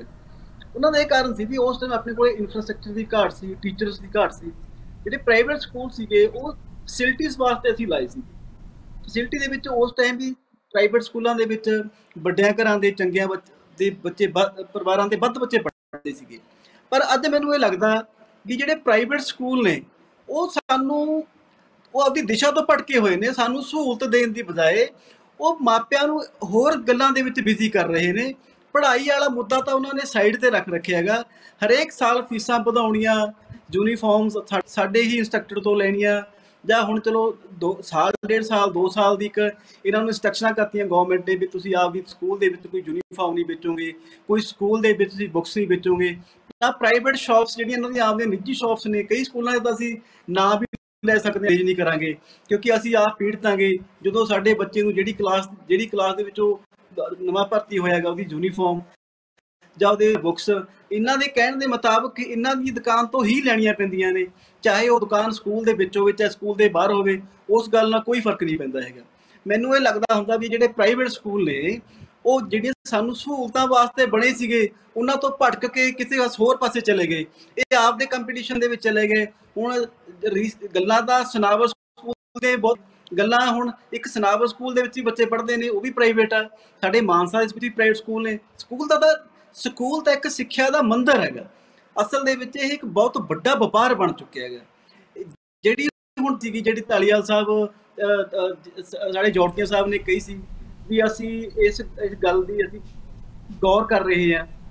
ਮੈਂ ਪਹਿਲਾਂ ਹੀ ਇਹ ਗੱਲ ਕਹੀ ਸੀ ਕਿ ਜਿੰਨਾ ਆਪ ਦੇ ਲੋਕਾਂ ਤੋਂ ਆਪ ਦੀ ਪੰਚਾਇਤਾਂ ਤੋਂ ਆਪ ਦੀ ਸੁਸਾਇਟੀ ਦੇ ਲੋਕਾਂ ਤੋਂ ਜਾਂ ਜਿਹੜੇ ਬੱਚੇ ਉੱਥੇ ਪੜ੍ਹਦੇ ਉਹਨਾਂ ਪੇਰੈਂਟਸ ਨਾਲ ਡਿਸਕਸ ਨਹੀਂ ਕਰਦੇ ਤੁਸੀਂ ਇਹ ਫੈਸਲਾ ਨਹੀਂ ਲੈਣਾ ਚਾਹੀਦਾ ਸੀਗਾ। ਦੂਸਰੀ ਗੱਲ ਇੱਕ ਤੁਸੀਂ ਗੱਲ ਕਹੀ ਸੀਗੀ ਮਾਨਸਾ ਬਾਰੇ ਵੀ ਇਹਨਾਂ ਨੂੰ ਹੋ ਸਕਦਾ ਵੀ ਜ਼ਿਆਦਾ ਨਸ਼ਾ ਹੋਣ ਕਰਕੇ ਕਿ ਹੁਣ ਤਾਂ ਇਹ ਫੈਸਲਾ ਲੈ ਲਿਆ ਹੋਵੇ ਤਾਂ ਮੈਂ ਤੁਹਾਨੂੰ ਇਹ ਗੱਲ ਆਪਦੇ ਹੋਸ਼ੋਵਾਸ ਕਹਿਣਾ ਚਾਹੁੰਦਾਗਾ ਵੀ ਮਾਨਸਾ ਜਿਹੜਾ ਸ਼ਹਿਰ ਹੈਗਾ, ਉਹ ਇਹਨਾਂ ਨਸ਼ਿਆਂ ਤੋਂ ਬਹੁਤ ਦੂਰ ਆ। ਹੋ ਸਕਦਾ ਬਹੁਤ ਘੱਟ ਲੋਕ ਹੈਗੇ ਨੇ ਜਿਹੜੇ ਇਸ ਚਪੇੜ ਵਿੱਚ ਹੈਗੇ ਨੇ। ਕਿਉਂਕਿ ਅਸੀਂ ਨਸ਼ਿਆਂ ਲਹਿਰ ਤੋਂ ਤੁਰੀ ਹੋਈ ਹੈ। ਵੱਡਾ ਮੁੱਦਾ ਚਲੋ ਡਿਸਕਸ ਨਹੀਂ ਕਰ ਸਕਦੇ। ਸਾਡੇ ਇੱਕ ਬੰਦੇ ਨੂੰ ਫੜਿਆ ਕੱਲ ਪੁਲਿਸ ਦੇ ਪਰਚੇ ਕੈਂਸਲ ਵੀ ਕੀਤੇ। ਤਾਂ ਨਸ਼ਿਆਂ ਦੇ ਖਿਲਾਫ ਸਾਡਾ ਸਮਾਜ ਲੱਗਿਆ ਹੋਇਆ ਹੈਗਾ। ਪਰ ਇਹ ਨਹੀਂ ਹੈਗਾ ਵੀ ਜਿੰਨਾ ਜਿਹੜੇ ਤਰੀਕੇ ਨਾਲ ਤੁਸੀਂ ਗੱਲ ਕਰੀ ਵੀ ਮਾਨਸਾ ਦੇ ਵਿੱਚ ਬਹੁਤ ਨਸ਼ਾ ਹੈਗਾ, ਇਸ ਕਰਕੇ ਇਹਨਾਂ ਨੇ ਫੈਸਲਾ ਲਿਆ ਹੈਗਾ। ਇਹ ਇਹ ਤਾਂ ਇਹ ਕਲੀਅਰ ਕਰਨ ਵੀ ਇਹਨਾਂ ਨੇ ਇਹ ਫੈਸਲਾ ਕਿਉਂ ਲਿਆ ਹੈਗਾ? ਇਹ ਇਸ ਗੱਲ ਨਾਲ ਜੇ ਇਸ ਗੱਲ ਨਾਲ ਇਹ ਕਹਿਣਾ ਵੀ ਅਸੀਂ ਜਿਨ੍ਹਾਂ ਦੇ ਨਸ਼ਿਆਂ ਦੇ ਕਾਰੋਬਾਰ ਦੇ ਨਸ਼ੇ ਕਰਦੇ ਆ ਉਹਨਾਂ ਨੂੰ ਭਰਤੀ ਨਹੀਂ ਕਰਾਂਗੇ ਬੱਚਿਆਂ ਨੂੰ ਭਰਤੀ ਨਹੀਂ ਕਰਾਂਗੇ ਇਸ ਨਾਲ ਸਾਡੇ ਮਨ ਤੇ ਠੇਸ ਵੱਜੀ ਹੈ ਸਾਡਾ ਜ਼ਿਲ੍ਹਾ ਬਦਨਾਮ ਕਿਉਂਕਿ ਇਹ ਪਹਿਲਾ ਡਿਸਟ੍ਰਿਕਟ ਹੀ ਹੈ ਸਾਡਾ ਜਿਹੜਾ ਇਹ ਇਹਨਾਂ ਨੇ ਅਜਿਹਾ ਫੈਸਲਾ ਲਿਆ ਹੈਗਾ। ਤਾਂ ਇਹ ਬੜੀ ਮੈਨੂੰ ਇਹ ਗੱਲ ਚੰਗੀ ਨਹੀਂ ਲੱਗੀ। ਜਦੋਂ ਤੁਹਾਡੀ ਡਿਬੇਟ ਦੇ ਵਾਸਤੇ ਤੁਹਾਨੂੰ ਕਾਲ ਆਈ ਤਾਂ ਮੈਨੂੰ ਲੱਗਿਆ ਵੀ ਇਹ ਗੱਲ ਨਹੀਂ ਬਣਦੀ ਹੈਗੀ। ਕਿਉਂਕਿ ਇਹ ਗੱਲ ਮਨ ਤੇ ਠੇਸ ਪਹੁੰਚੀ ਹੈ। ਪੂਰਾ ਪੰਜਾਬ ਤਾਂ ਜੇ ਤੁਸੀਂ ਮਾਝਾ ਦੁਆਬਾ ਚੈੱਕ ਕਰੋਗੇ ਤਾਂ ਨਸ਼ਿਆਂ ਦੇ ਵਿੱਚ ਗੱਕ ਹੋ ਰਿਹਾ ਹੈਗਾ। ਉੱਥੋਂ ਦੇ ਬੱਚੇ ਮਰ ਰਹੇ ਨੇ ਪਿੰਡਾਂ ਦੇ ਵਿੱਚ ਮੁੰਡਿਆਂ ਦੀ ਕੁੜੀ ਗਿਣਤੀ ਘਟ ਰਹੀ ਹੈ। ਉਹਨਾਂ ਲੋਕਾਂ ਨੇ ਤਾਂ ਕਦੇ ਇਹ ਫੈਸਲਾ ਨਹੀਂ ਲਿਆ। ਸਾਡੇ ਜ਼ਿਲ੍ਹੇ ਦੇ ਲੋਕ ਇਹ ਫੈਸਲਾ ਲੈਂਦੇ ਨੇ। ਬਿਨਾਂ ਕਿਸੇ ਡਿਸਕਸ ਤੋਂ ਲਖਵਿੰਦਰ ਜੀ ਗੱਲ ਗੱਲ ਥੋੜੀ ਜੀ ਲੰਬੀ ਹੋ ਰਹੀ ਹੈ। ਮੈਂ ਨਾ ਤੁਹਾਡੀ ਗੱਲਾਂ ਨਾਲ ਸਹਿਮਤ ਆ ਇੱਕ ਦੋ ਗੱਲਾਂ ਮੈਂ ਕਹਿ ਰਿਹਾ ਇੱਕ ਤਾਂ ਮੈਂ ਇਹ ਨਹੀਂ ਕਿਹਾ ਵੀ ਹੈ। ਮੈਂ ਕਿਹਾ ਵੀ ਹੋ ਸਕਦਾ ਹੈ ਇਸ ਕਰਕੇ ਉਹਨਾਂ ਨੂੰ ਫੈਸਲਾ ਲੈਣਾ ਪਿਆ। ਦੂਸਰੀ ਗੱਲ ਅਸੀਂ ਇਹ ਗੱਲ ਕਹਿ ਕੇ ਵੀ ਪਰਾਂ ਨਹੀਂ ਹਟ ਸਕਦੇ ਕਿ ਵੀ ਸਾਡੇ ਤਾਂ ਐਸ ਕੰਪੈਰੀਜ਼ਨ ਮਾਝਾ ਤੇ ਦੁਆਬਾ ਨਸ਼ਾ ਘੱਟ ਹੈ। ਮਤਲਬ ਅਸੀਂ ਇਹ ਤਾਂ ਨਹੀਂ ਕਹਿ ਸਕਦੇ ਵੀ ਉੱਥੇ ਪੰਜ ਲੋਕ ਖੂਚ ਡਿੱਗ ਰਹੇ ਸਾਡੇ ਤਾਂ ਹਲੇ ਇੱਕ ਡਿੱਗਣ ਲੱਗਿਆ। ਪਰ ਸ਼ੁਰੂਆਤ ਤਾਂ ਹੋ ਗਈ ਹੈ।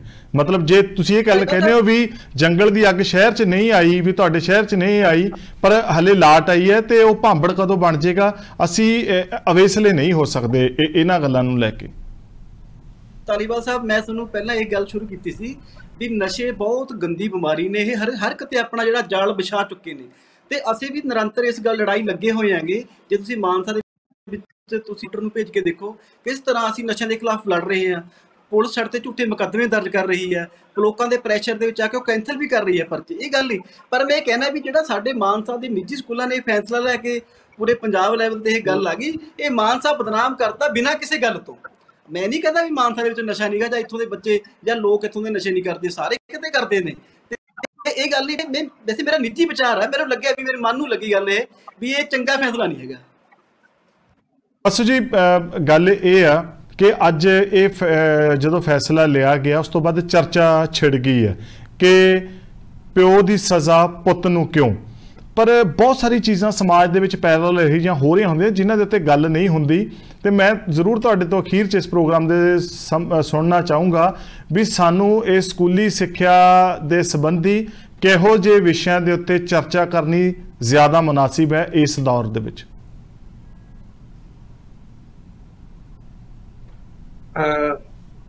ਨਵਜੋਤ ਜੀ ਦੇਖੋ ਬੜੀ ਸਪਸ਼ਟ ਜੀ ਗੱਲ ਹੈ।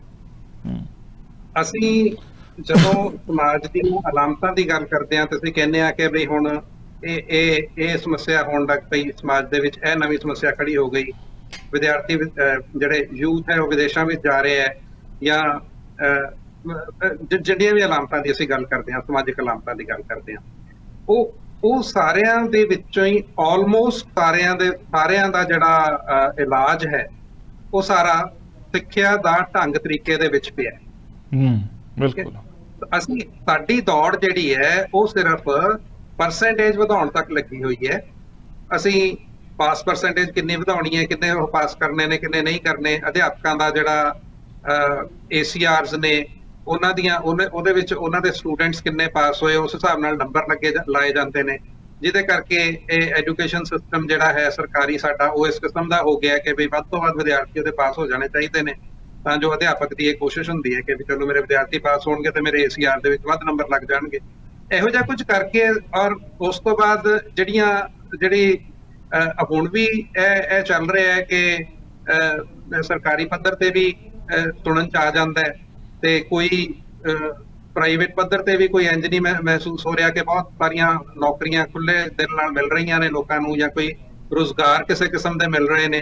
ਕਿਉਂਕਿ ਸਾਡੇ ਐਜੂਕੇਸ਼ਨ ਸਿਸਟਮ ਦੇ ਵਿੱਚ ਕੋਈ ਆਪਣਾ ਰੋਜ਼ਗਾਰ ਕਰ ਸਕਣ ਜੋਗੇ ਵੀ ਵਿਦਿਆਰਥੀ ਸ਼ਾਇਦ ਨਹੀਂ ਬਣ ਰਹੇ। ਅਸੀਂ ਬੜਾ ਇੱਕ ਗੱਲ ਕਹਿ ਕੇ ਸੌਖੇ ਵਿਹਲੇ ਹੋ ਜਾਂਦੇ ਆ ਕਿ ਹੁਣ ਤਾਂ ਚੰਗੇ ਬੰਦੇ ਦੇ ਜਿਹੜੇ ਹੈਗੇ ਨੇ ਵਿਦਿਆਰਥੀ ਨੇ ਉਹ ਤੇ ਬਾਹਰ ਹੀ ਚਲੇ ਜਾਂਦੇ ਨੇ ਇਸ ਕਰਕੇ ਗੱਲ ਹੀ ਖਤਮ ਹੋ ਗਈ। ਸਾਨੂੰ ਕਾਲਜਾਂ ਨੂੰ ਵਧੀਆ ਕਰਨ ਦੀ ਲੋੜ ਨਹੀਂ ਸਾਨੂੰ ਕੋਈ ਐਜੂਕੇਸ਼ਨ ਸਿਸਟਮ ਅੱਗੋਂ ਵਧੀਆ ਰੱਖਣ ਦੀ ਲੋੜ ਨਹੀਂ ਕੋਈ ਅਸੀਂ ਪੱਕੇ ਅਧਿਆਪਕ ਨਹੀਂ ਰੱਖ ਰਹੇ ਕਾਲਜ ਲੈਵਲ ਤੇ। ਅਸੀਂ ਕੋਈ ਪੈਟਰਨ ਨਹੀਂ ਚੇਂਜ ਕੀਤਾ ਜਿਹੜਾ ਕਰਿਕੂਲਮ ਹੈ ਸਕੂਲ ਕਰਿਕੂਲਮ ਤਾਂ ਬਹੁਤਾ ਕੀਤਾ ਹੀ ਨਹੀਂ। ਕਾਲਜ ਕਰਿਕੂਲਮ ਦਾ ਮਸਲਾ ਹੀ ਨਹੀਂ ਹੈਗਾ ਸਾਡਾ ਇਸ਼ੂ ਹੀ ਨਹੀਂ ਹੈ ਸਾਡਾ ਮੁੱਦਾ ਹੀ ਨਹੀਂ ਹੈ।